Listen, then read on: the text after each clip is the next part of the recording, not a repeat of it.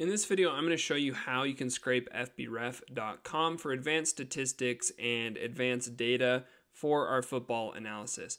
FBref.com is one of the more popular websites and it is actually the easiest website, in my opinion, to scrape because it's basically just all tables and that makes it very simple to scrape. So to do this, we're going to be using a combination of CSS selectors and as well as the pandas package in Python. Let's head over to a specific example of a table we are going to scrape.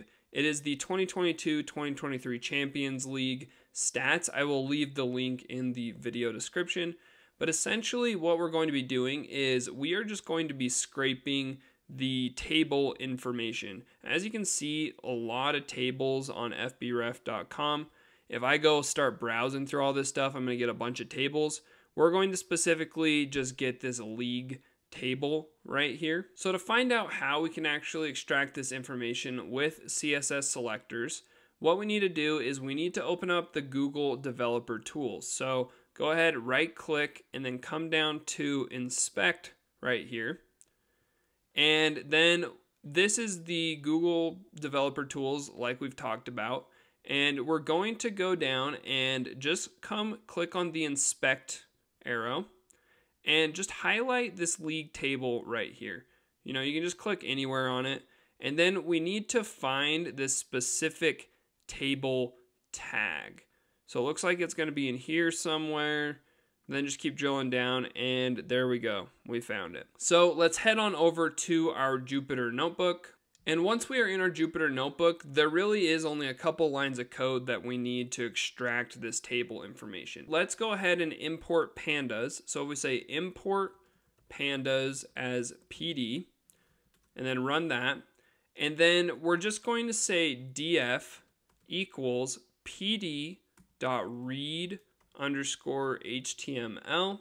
So basically this read underscore HTML method is going to allow us to read tables from HTML pages. It's going to do all of the requests. It's going to gather and return that data for us. And we just need to tell it what table we want to extract. So the first argument you need to pass in is just pass in this URL right here. So copy that and paste it in. And so the next thing we need to do is we need to tell it what the attribute of the table we want to scrape. So this is basically just CSS selectors. And so we come up here and go back to this Google developer tool. We see that we have our table tag right here. And then we have this ID right here, which makes it very simple just to extract this data. So copy all of that right there. So you can just triple click into it, then copy it, either right click copy or just hit Command C.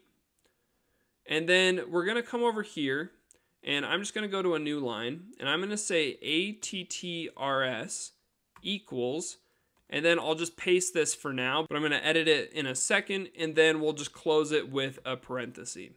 So basically what we're doing is we're saying the attribute of the table we want to extract one for the ID. So this actually needs to be a dictionary. So let's go ahead and wrap it with our dictionary. And then we're just going to replace the equal sign right here. And then just replace it with a colon and then add and basically just turn this into a dictionary. So we're going to say ID is the key and then the value is the results 2022, 2023, 80 underscore overall. And what this does is this goes and hits the page with a request and it will return the table that has this attribute, has this CSS selector essentially. And then it will return a list. So if we run this, we got it back, it ran successfully. So if we print df right now, it actually gives us a list of the table.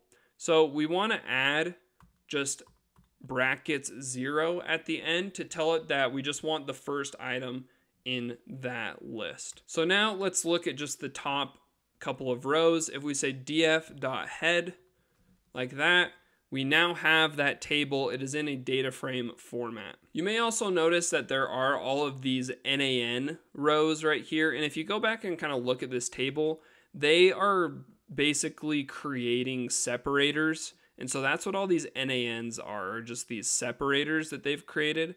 So to get rid of those, we just have to drop our null values. So if we say df equals df dot drop na, like that, and then we'll say subset equals, and then in brackets, just pass in the column. Really doesn't matter. I just like to use the rank column. So we'll say RK, and then another bracket with parentheses, and then let's look at it again. So we'll say df dot head, and there we go. There is our table. We have that entire table and is now in a data frame that we can do analysis on. And so that method really is used for every table on the page and it makes it super easy to get those tables and really efficient if we're just using the pandas package to extract that data. But as you can imagine, not all tables are made equal, so let's go ahead and let's practice with a different table. Hey guys, thanks for watching so far. I just want to say that this is an actual lesson from my new course, the Complete Football Analytics in Python course, which will go over a wide range of different football analytics and Python skills.